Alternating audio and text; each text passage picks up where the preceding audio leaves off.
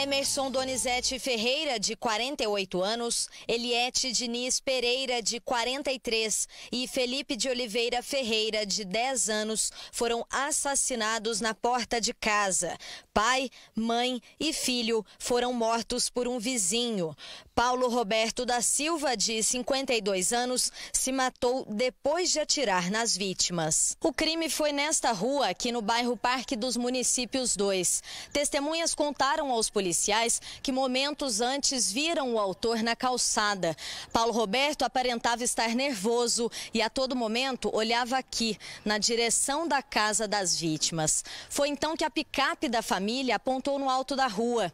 Ele não pensou duas vezes e começou a atirar contra o veículo. Segundo a polícia militar, Emerson era quem dirigia a picape. Ele morreu no local. Já Felipe e Eliette chegaram a ser socorridos pelos policiais, mas morreram no hospital. No velório das vítimas, muita comoção. A surpresa é geral, né? Quando a gente vê a cidade inteira mobilizada, você vê que o assunto da cidade é uma violência tão grande, uma tragédia tão grande, com a família não foi diferente. Para nós, uma surpresa total.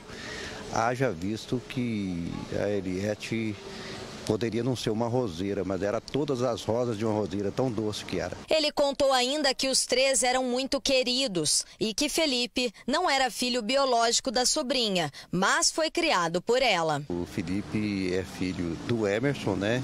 Vem de uma relação do, anterior do Emerson que a Eliette adotou o Felipe e não tinha ainda um ano. E assumiu ele como filho e por ele ela fez exatamente tudo que uma mãe pode fazer. A polícia militar chegou no local pouco depois do crime. Testemunhas contaram aos policiais que os vizinhos haviam se desentendido em outras ocasiões. Populares lá falaram que eles, que eles tinham atritos, mas a gente não, ninguém pôde confirmar essa versão. Além da pistola 380 e do revólver calibre 32 que estavam perto do corpo do autor, os policiais apreenderam mais duas armas. Em busca na, na residência do autor, nós localizamos aí uma arma de fogo, uma espingarda calibre 38, é, com munições, e numa sacola em frente à caminhonete, né, da vítima, né, havia outra arma de fogo, uma garrucha calibre 22 com diversas munições de diversos calibres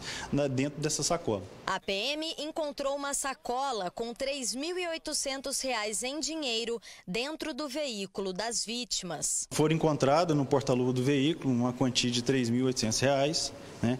mas não tem é, essa relação com o crime. No velório de Paulo Roberto, nenhum familiar quis gravar entrevista.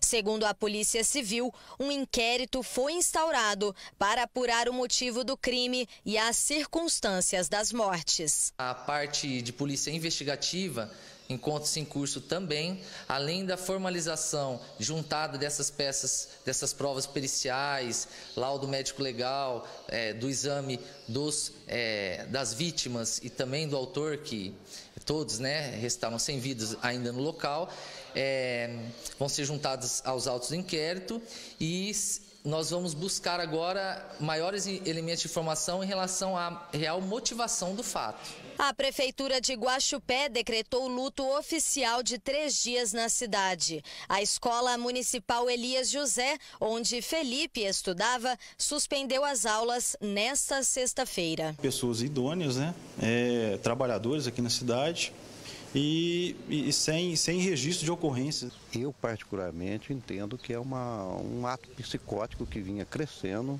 na pessoa do agressor, haja visto que os fatos mortam apontam para isso, né?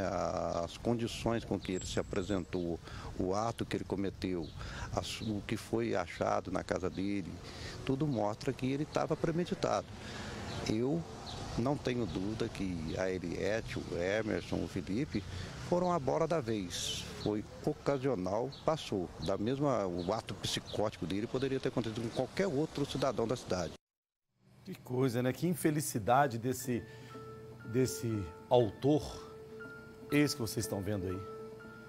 Tirar a vida, de repente, de um desafeto, a gente até poderia entender.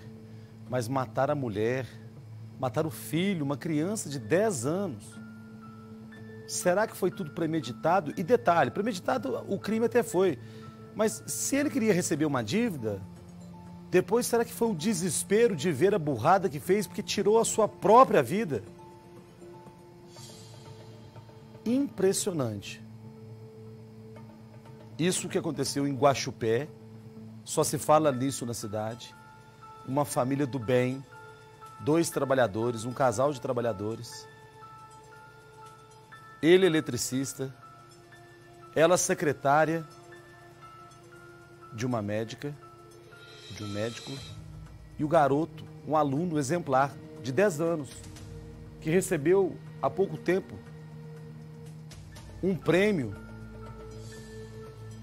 pela aula de ciências, um menino inteligentíssimo, bacana, legal, bonito, e que morre dessa forma tão violenta. Será por um psicopata? Será? Como avaliar?